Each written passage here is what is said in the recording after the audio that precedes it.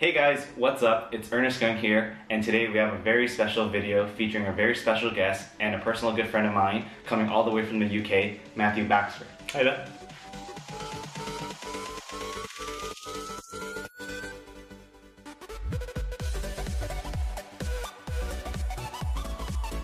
So Matt is the guy, the brains behind the super cheap guides.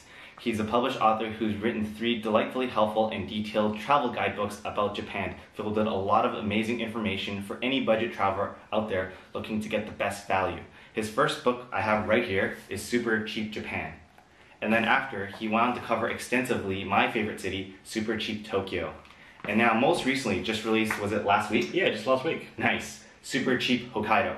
So now if you're watching this video guys and you're wondering how did Matthew and I first met, it was actually back in October 2015. We met at a language exchange in Toronto and we got paired up together and we ended up just being good friends because we had shared goals, common interests. We were both trying to learn Japanese at that time and we've always wanted to get together and work on a project together. So Matt, why don't you tell us a little bit about yourself and how did this all start with super cheap guides? Yeah, um, so I lived across the world. I lived in Canada, I lived in Australia, uh, New Zealand, and Japan, of course.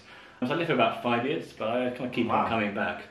So I thought, okay, I want to turn this passion into something kind of really useful and productive. It'd be a great idea to make some books um, to help other people travel in Japan um, on the cheap. I always used to go on the cheap in Japan. And yeah, it's really something that um, I've become really knowledgeable about. Know, like, people, friends in Japan, they say, you know, I know more than them about Japan. So it's yeah, it's really good. Yeah, I know what you mean. I think I've seen more of Japan than most of my Japanese friends. Mm. But at the same time, a lot of my Japanese friends who travel to Canada have Yeah. seen so much more of Canada than I have ever seen. Totally, same with London as well. Totally, yeah.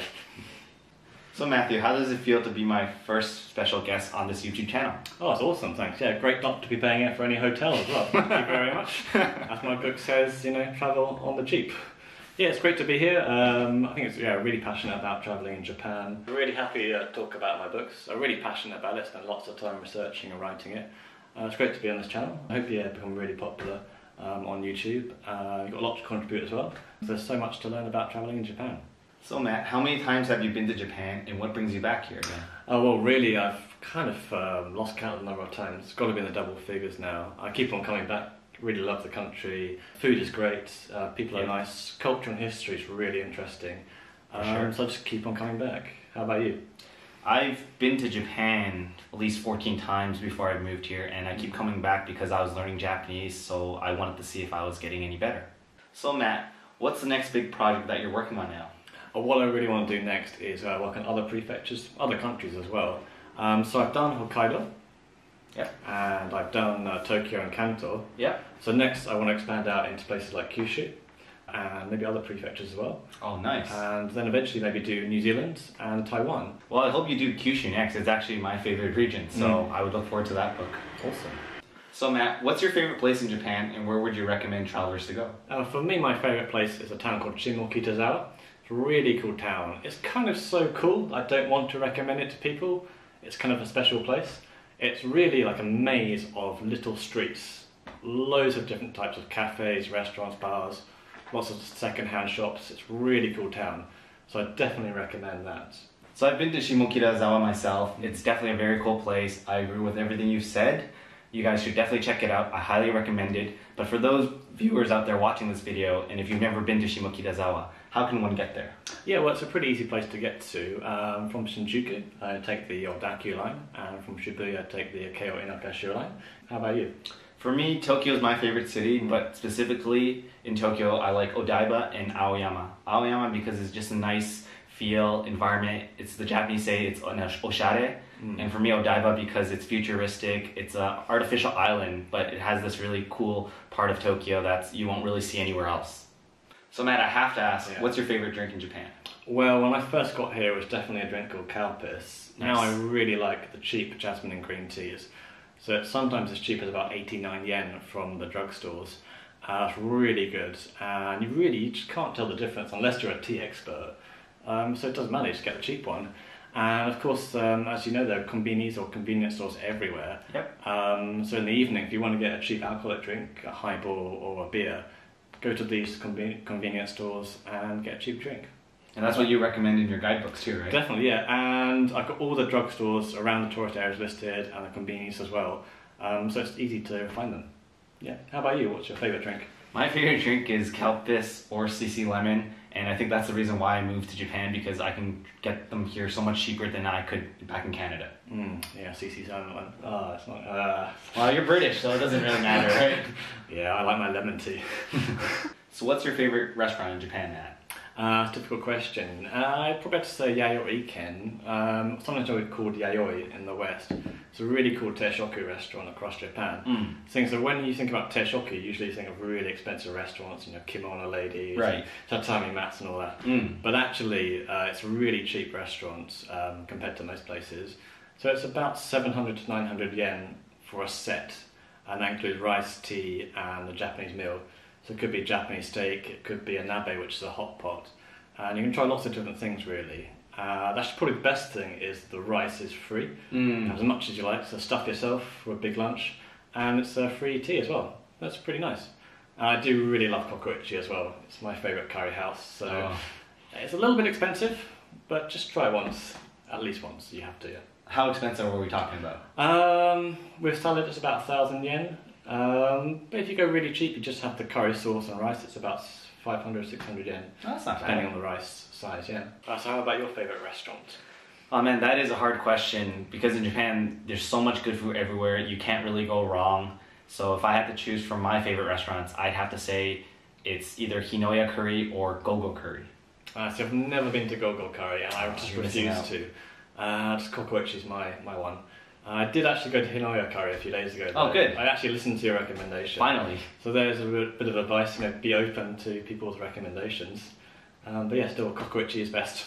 You know what? I've been to CoCo Ichi. I've had it. The curry for me is a bit watery, so I prefer Hinoya or Gogo. So to me, Koko curry is no no curry. He doesn't know what he's talking about. He's Canadian. I'm British. Keep in Uh, mind, curry. guys, he's British, and you know they're not really known for their food culture, right, guys? so Matt, besides checking out these awesome guides of yours, what would you recommend to first-time travelers coming to Japan? Oh yeah, good question. So um, Japan's become a lot easier to travel around in the last few years. I remember uh, when I first came, no one could speak English. You were kind of lost at most restaurants. Um, now things are so much better. Like you've got translation apps, so you can just Mm. point your camera at the kanji, the, the Japanese characters, and it will tell you what's on the menu. Um, or if you go to exchange your Japan Rail Pass, Right. they speak English now. There'll be English signs on all the stations and all the maps. But particularly outside Tokyo, you just didn't have any English at all. What do you think? So for me, when I first started traveling to Japan in the mid 2000s, and now it's a very different place.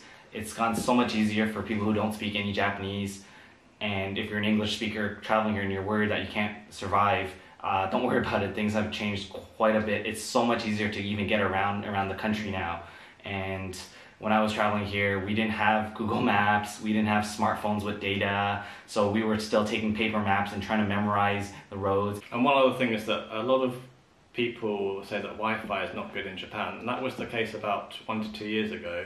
In the last six months, it's dramatically changed. And Right. You get Wi-Fi in pretty much any tourist destination, even if it's like a B list of tourist destination yeah. that not many foreigners go, there'll be Wi-Fi. Right. Yeah. But what I would recommend is because the world's so interconnected and dependent on internet and data now, is just to rent the pocket Wi-Fi Mm. or get a data SIM card. It's just so cheap. You just don't want to be in a situation where you're stuck with Wi-Fi. But I agree with what Matt's saying here because back when I was traveling, even five years ago, and this was kind of when smartphones were becoming common, it was just so hard to find a common Wi-Fi to depend on. Like now, Family Mart, the convenience stores have it, McDonald's, Starbucks, but five, six years ago, you think McDonald's and Starbucks would have these? They didn't offer any Wi-Fi for people. Yeah, I mean, there was a point where you had to like subscribe at Starbucks. Oh, yeah. So it's like, and when in, in England, when where these kind of things are rubbish, Yeah, yeah, it was all yeah. free and Yeah. anyone could do it. You could stand outside Starbucks and Yep. use it. In Japan, you had to join some program or something. And what was worse, it was all written in Japanese. So Yes, you couldn't exactly. even turn it into Yeah. English to just fake, put a fake email. So Matt, any last words or comments you'd like to share with the audience? Yeah, cheers. Um, so interested in going to Japan on the cheap? Uh, please check out my books. Uh, they're available on Amazon or- and Mm. at any good bookshops. And um, please uh, check me out on uh, Facebook and Instagram at um, Super Cheap Guides. And as a little gift to you guys, I'm giving you a little discount uh, on my ebooks. So please uh, subscribe to Ernest's uh, channel and head to my website at supercheapguides.com and put the code LIFE in Japan and you get 20% off. Oh wow, nice. Perfect. So if you guys are interested in getting a copy of Matt's books, I'll be sure to leave a link in the video description down below. Be sure to take advantage of the coupon code that he just said. And of course, check out his social profiles, follow him for all the cool stuff, and get tips on traveling to Japan on his website. I've known Matt for a few years. He's definitely put in a lot of work, time, research into putting these guidebooks together. So I definitely recommend checking out these books if you're coming to Japan. So that concludes our chat for today. Thank you guys all so much for watching, and thank you, Matt, for being in the video today. Yeah, thanks so much. It's been a lot of fun. So comment down below, guys, if you have questions for Matt and I. Hit the like button. Be sure to subscribe for more coffee chats and guest speaker videos. With that, I will see you guys in the next video. Peace. Peace. So Matt, why don't you tell us a little bit about yourself and how did Super Cheap Guides all start? Again.